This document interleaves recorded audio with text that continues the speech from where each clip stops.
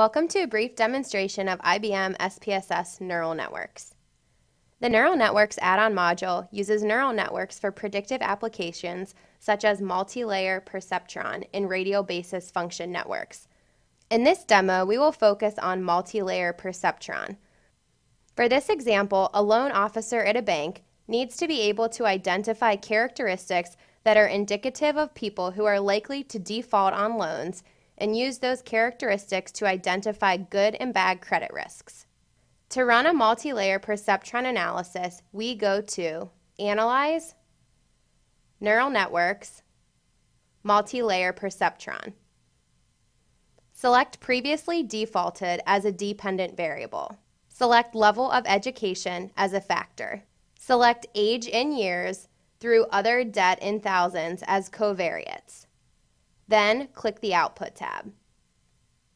Deselect Diagram in the Network Structure group.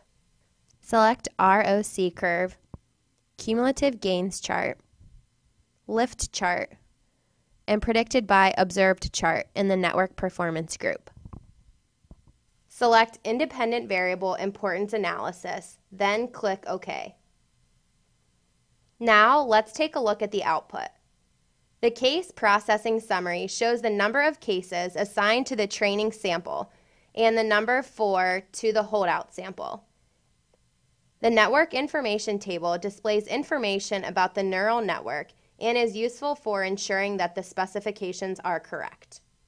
The model summary displays information about the results of training and applying the final network to the holdout sample.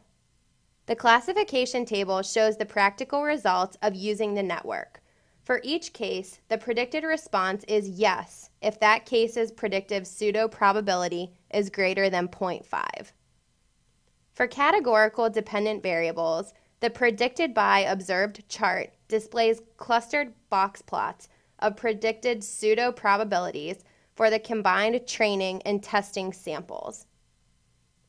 The ROC curve gives you a visual display of the sensitivity and specificity for all possible cutoffs in a single plot, which is much cleaner and more powerful than a series of tables. The cumulative gains chart shows the percentage of the overall number of cases in a given category gained by targeting a percentage of the total number of cases.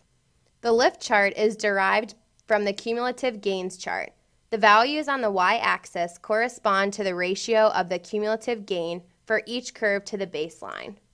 An independent variable is important because it is a measure of how much the network's model predicted value changes for different values of the independent variable.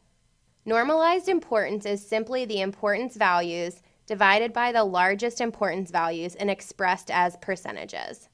This has been a brief presentation of one of the capabilities within IBM SPSS neural networks. To find out more, please contact an IBM sales representative or visit our website.